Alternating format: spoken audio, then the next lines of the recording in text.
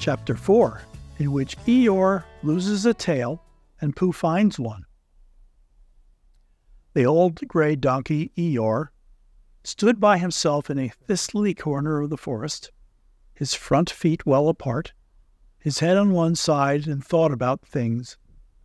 Sometimes he thought sadly to himself, Why? And sometimes he thought, Wherefore? And sometimes he thought, Inasmuch as which. And sometimes he didn't know quite what he was thinking about. So when Winnie the Pooh came stumping along, Eeyore was very glad to be able to stop thinking for a little in order to say, How do you do? in a gloomy manner to him. And how are you? said Winnie the Pooh. Eeyore shook his head from side to side. Not very how, he said. I don't seem to have felt at all how for a long time. Dear, dear, said Pooh. I'm sorry about that. Let's have a look at you. So Eeyore stood there, gazing sadly at the ground, and Winnie the Pooh walked all round him at once. Why, what's happened to your tail? he said in surprise. What has happened to it? said Eeyore. It isn't there. Are you sure? Well, either a tail is there or it isn't there.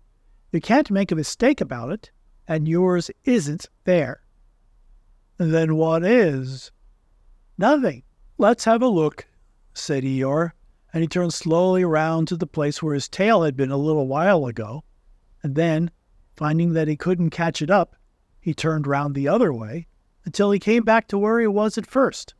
Then he put his head down and looked between his front legs, at last he said with a long, sad sigh, I believe you're right. Of course I'm right, said Pooh.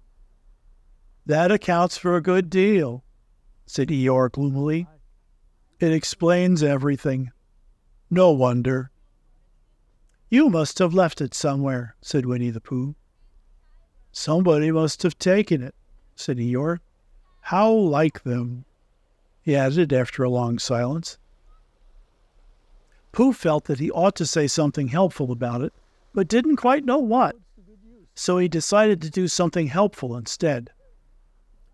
Eeyore, he said solemnly, I, Winnie the Pooh, will find your tail for you. Thank you, Pooh, answered Eeyore. You're a real friend, said he. Not like some, he said. So Winnie the Pooh went off to find Eeyore's tail. It was a fine spring morning in the forest as he started out. Little soft clouds played happily in a blue sky, skipping from time to time in front of the sun as if they had come to put it out and then sliding away suddenly so that the next might have his turn. Through them and between them the sun shone bravely, and a copse which had worn its furs all the year round seemed old and dowdy now beside the new green lace which the beeches had put on so prettily. Through copse and spinney marched Bear, down open slopes of gorse and heather, over rocky beds of streams, up steep banks of sandstone into the heather again, and so at last tired and hungry, to the hundred acre wood. For it was in the hundred acre wood that Owl lived. And if anybody knows anything about anything, said Bear to himself, it's Owl who knows something about something, he said, or my name's not Winnie the Pooh, he said. Which it is, he added, so there you are. Owl lived at the Chestnuts, an old world residence of great charm, which was grander than anybody else's, or seemed so to Bear, because it had both a knocker and a bell pull. Please ring if an answer is required. Underneath the bell pull there was a notice which said, Please knock if an answer is not required. These notices had been written by Christopher Robin, who was the only one in the forest who could spell. For Owl, wise though he was in many ways, able to read and write and spell his own name, W O L, yet somehow went all to pieces over delicate words like measles and buttered toast. Winnie the Pooh read the two notices very carefully, first from left to right, and afterwards, in case he'd missed some of it, from right to left. Then, to make quite sure, He knocked and he pulled the knocker, and he pulled and knocked the bell rope, and he called out in a very loud voice, Owl, I require an answer. It's Bear speaking. And the door opened, and Owl looked out. Hello, Pooh, he said. How's things? Terrible and sad, said Pooh, because Eeyore, who is a friend of mine, has lost his tail, and he's moping about it. So could you very kindly tell me how to find it for him? Well, said Owl, the customary procedure in such cases is as follows. What does Crustimoney Proseedcake mean? said Pooh for I am a bear of very little brain and long words bother me. It means the thing to do. As long as it means that, I don't mind, said Pooh humbly. The thing to do is as follows. First, issue a reward. Then, just a moment, said Pooh, holding up his paw. What do we do to this, what you were saying? You sneezed just as you were going to tell me. I didn't sneeze, Yes, you did, Owl. Excuse me, Pooh, I didn't. You can't sneeze without knowing it. Well, you can't know it without something having been sneezed. What I said was, first issue a reward. You're doing it again, said Pooh sadly. A reward, said Owl very loudly. We write a notice to say that we will give a large something to anybody who finds Eeyore's tail. I see, I see, said Pooh, nodding his head.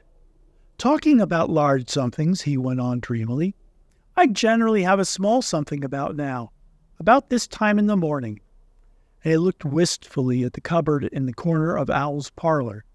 Just a mouthful of condensed milk or what not, with perhaps a lick of honey. Well, then, said Owl, we write out this notice and we put it up all over the forest. A lick of honey, murmured Bear to himself, or or not, as the case may be. And he gave a deep sigh and tried very hard to listen to what Owl was saying.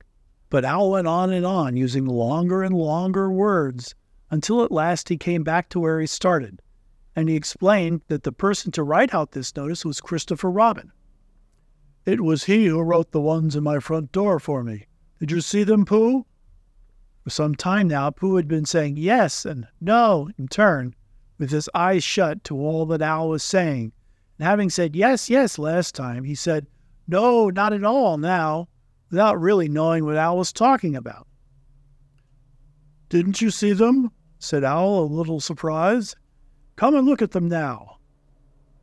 So they went outside, and Pooh looked at the knocker and the notice below it, and he looked at the bell rope and the notice below it, and the more he looked at the bell rope, the more he felt that he had seen something like it somewhere else some time before.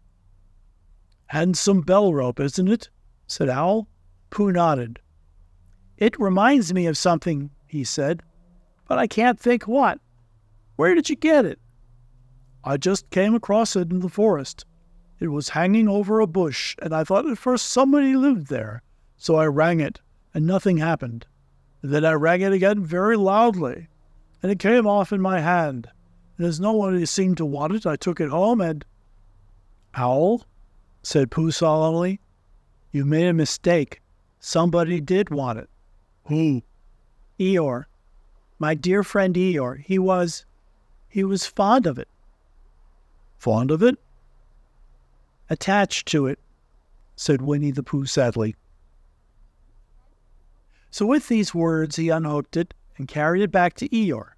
And when Christopher Robin had nailed it on its right place again, Eeyore frisked about the forest, waving his tail so happily that Winnie the Pooh came over all funny and had to hurry home for a little snack of something to sustain him. And wiping his mouth half an hour afterwards, he sang to himself proudly. Who found the tail? I said Pooh. At a quarter to two, only it was a quarter to eleven, really. I found the tail. End of chapter four.